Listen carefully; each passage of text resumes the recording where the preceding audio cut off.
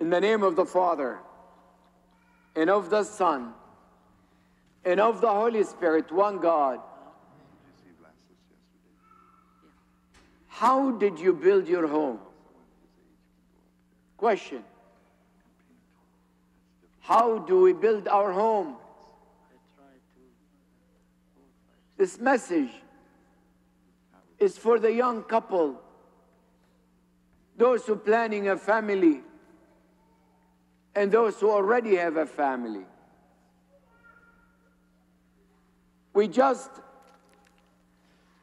have celebrated Christmas, a wonderful time of the year,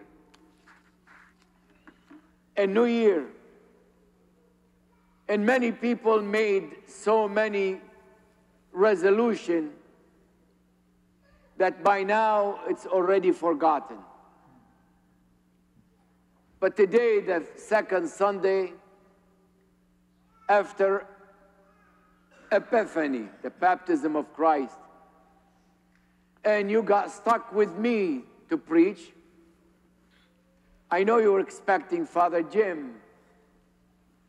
Father Jim had to go see a family out of town. We wish him well. With all the promises we make, unless our promises rooted, rooted in God, it means nothing. It means we cannot be trusted. Our word does not mean anything. No one can depend on us, and we do not depend on others. Unless our resolution and promises is based on the commandment of Christ. My dearly beloved, this week we celebrated St. John the Baptist feast.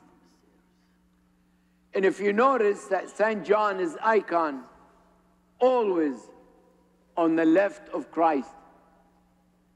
Because St. John became famous not only for baptizing the Lord and not for threatening and scolding Herod Antipas, but for major principle that he said, this is the Lamb of God who takes away the sins of the world. This is the Lamb of God who takes away the sins of the world. In the gospel this morning, read to us by St. Paul, he reminded us, he said, Brother and sister, keep in mind that grace, Name, grace, was given to each of us according to the measures of Christ's gift. What does that mean? What does that mean? It means that each of us, born of the water of baptism, has been endowed with a special talent. This talent manifests itself in our attitude, in our behavior toward each other, how best we can build a future, and how best we can build a home or build a marriage, let alone to build a church. It requires devotion, devotion, devotion to pray. To pray.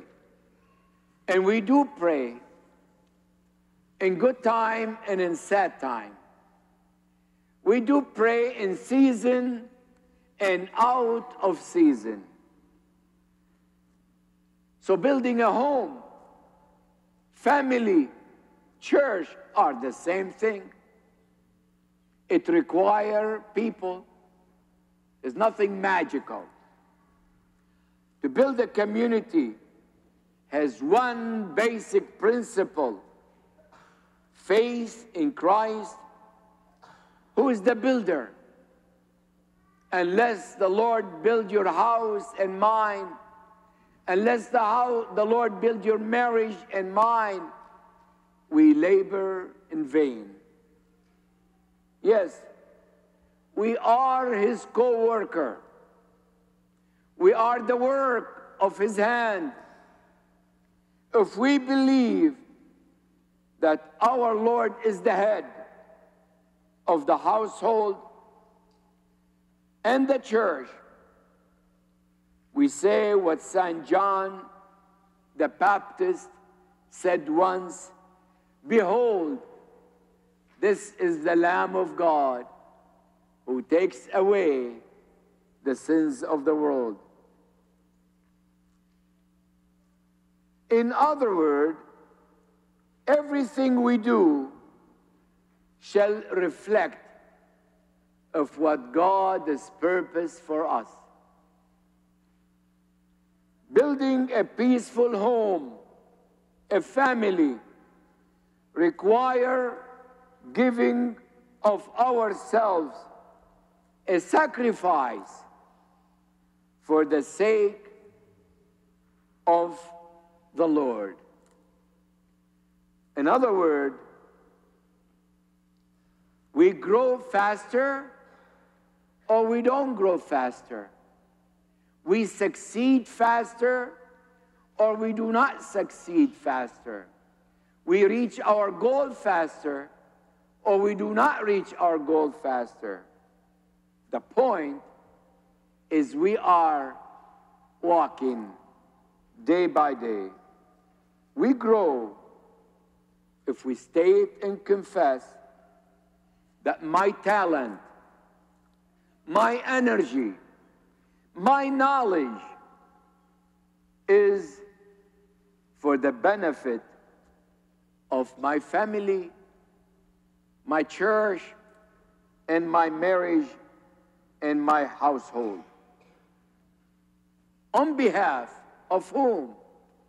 The Lord, who gave us the talent to keep in mind that conflict is born among people. When two or three gather to pray, they either can pray or they can have disagreement. It's a human nature. We don't agree with each other. Conflict is born among us. The result of different opinion. But the goal should be one. The goal should be one. St. Paul said one of the most remarkable statements about those who believe, about those who are married, about those who are struggling, about those who are building a church, who's building a family. He said, if there is any consolation in Christ, if any comfort in love, if any fellowship with the Spirit and affection and mercy, He's asking us, fulfill my joy. What's His joy?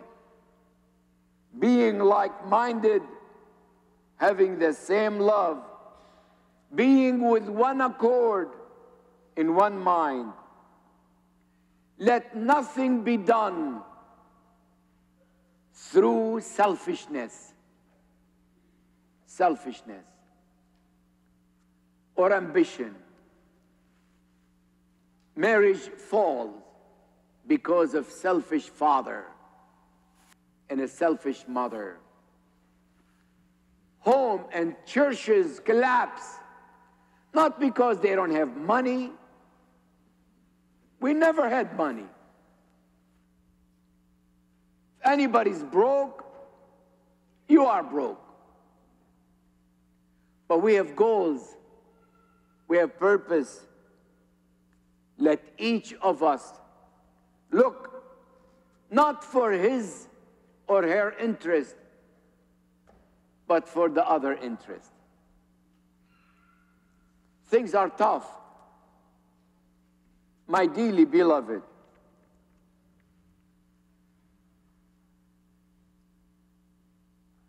this soon to be our 47 years.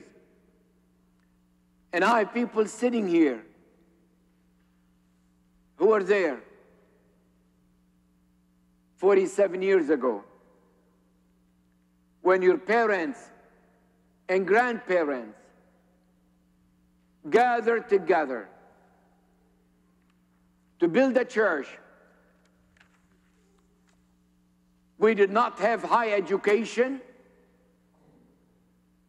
Most of our people work in the stores, their pharmacy, their shoe repair. Most of us didn't speak English, let alone me speaking English. But we have one common goal to build a house with disagreement and agreement, with fight and reconciliation. But the goal was once. Because each and every one of us knew he was commissioned and given a talent, grace, by Christ according to his or her own need. Yes, my dearly beloved.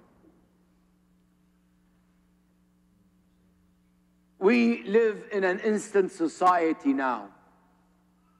We demand things instantly instant gratification, instant want, instant demand, and there is no more patience. Parents have no more patience on their children. Children have no more patience on their parents. Kids don't have patience to study and listen to their teacher and parents. They want to do things as their own. Why? Because we become so much charge society that deal only with electronic and we lost the gift of patience my dearly beloved we need to endure we may endure st james said the farmer plant his crops and sometimes he hit a drought. But never give up to plant the crops again. We need to endure in our family. We need to learn how to endure in our community. But we live in a world that become empty and away from Lord's Prince's principle. So we address conflict and disagreement with conflict and disagreement instead according to the Lord promise. And not what we were made for. We were made for to be good. So, family, church, best medicine, best medicine is to endure. شعبنا تحمل كتير وبعده عم يتحمل كتير. We need to learn to endure. We were all talented in different area in different measures. St. Paul said, is God's gift for some to be soldier, clergy, deacon, priest, doctors, chanter, husband and wife. But God equipped all of us to build up the body of Christ.